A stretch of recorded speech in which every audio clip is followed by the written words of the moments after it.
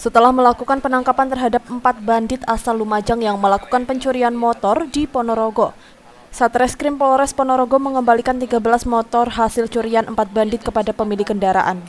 Sebanyak delapan pemilik motor yang dicuri di wilayah Ponorogo dan pemilik lima motor yang ada di Wonogiri berdatangan ke Mapolres Ponorogo. Para korban atau pemilik motor ini merasa senang karena motor mereka yang sempat hilang kini sudah ketemu dan kembali di tangan masing-masing.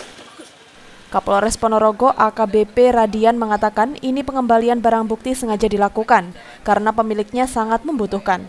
Namun demikian statusnya hanya pinjam pakai. Nanti jika diperlukan untuk pemeriksaan harus dikembalikan dan jika sudah selesai proses hukumnya, motor akan dikembalikan dengan syarat menunjukkan STNK dan BPKB motor miliknya.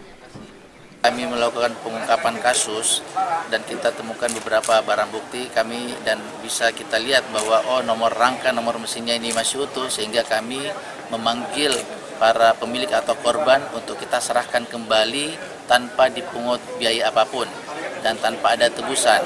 Kenapa biasanya ada kesulitan karena itu kita masih memerlukan cek fisik baik berupa nomor rangka, nomor mesin.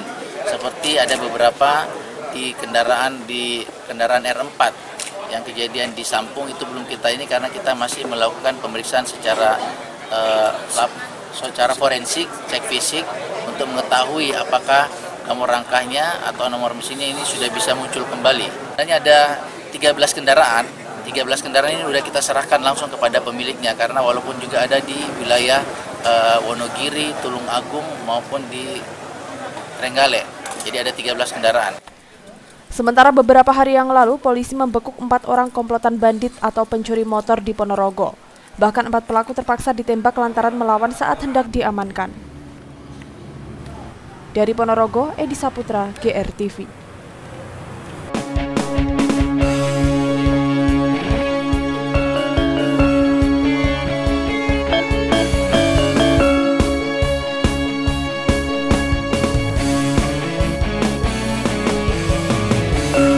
Revolution will be ready.